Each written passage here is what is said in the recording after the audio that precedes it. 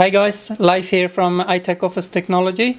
Today I'm going to show you an easy way to find the IP address of the uh, of your Konica Minolta BizHub. Sometimes uh, you need that IP address for uh, various reasons. I'm also going to show you how to print out a config page uh, that will give you uh, MAC address and other network uh, details that you your network administrator might need from time to time.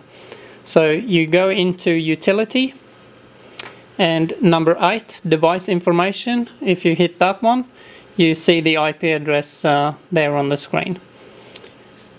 Uh, I'll close out of that.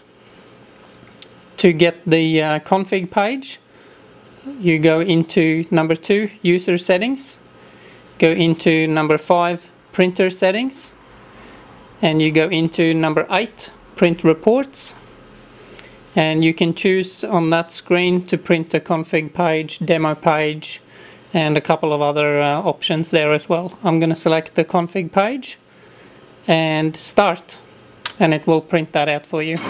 That's it.